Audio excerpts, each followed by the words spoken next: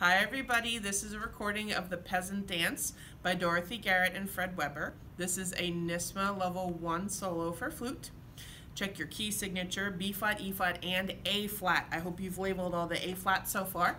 There are three beats in a measure. I will be skipping the rest in the beginning. I will be playing this whole piece with the repeats. When you perform at NISMA, the judge may ask you not to do the repeats, and that's fine but I will practice it with the repeats for now. Let's start our metronome at a quarter note equals 100. One, two, three. Keep the beat in your feet. Here we go. One, two, three. One,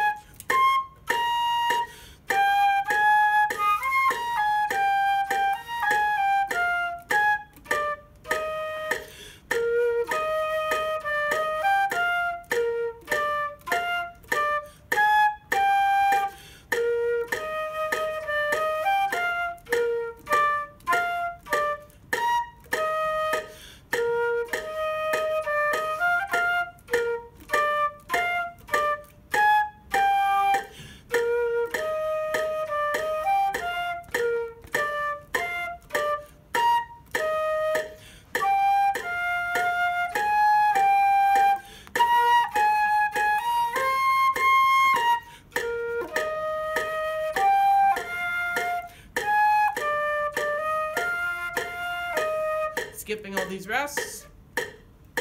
One, two, three, one.